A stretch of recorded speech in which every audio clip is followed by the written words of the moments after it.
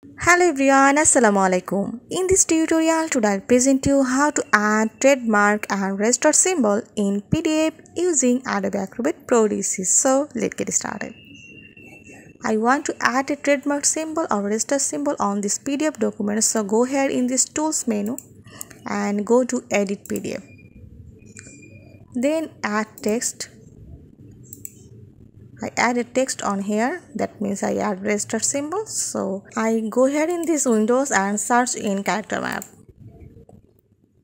This is character map dialog box and I search this register symbol. So go to advanced view and search for restart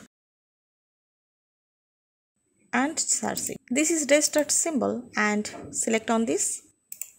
Now copy this and paste it this size is too small so I increase the sizes. And change this color. And also you have to move this and close it. Again I create a trademark symbol so go to edit PDF again and add this text. Go to in character map trademark and search this. This is trademark and now